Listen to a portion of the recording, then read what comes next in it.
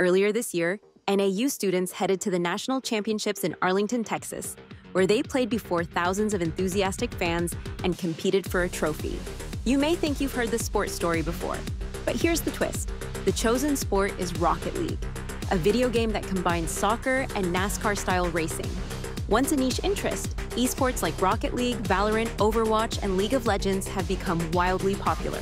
So much so that there are now professional and collegiate leagues where the best of the best compete. At NAU, home to an esports club established in 2018, more than 1,400 students play esports, watch live streams, and chat with one another on Discord on a regular basis.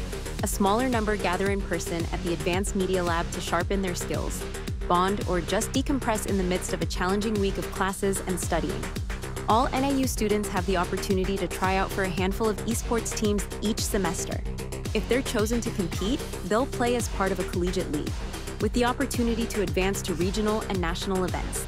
It's not all about competition, though. The Advanced Media Lab, home to NAU Esports, is a place to come and sit and talk with people.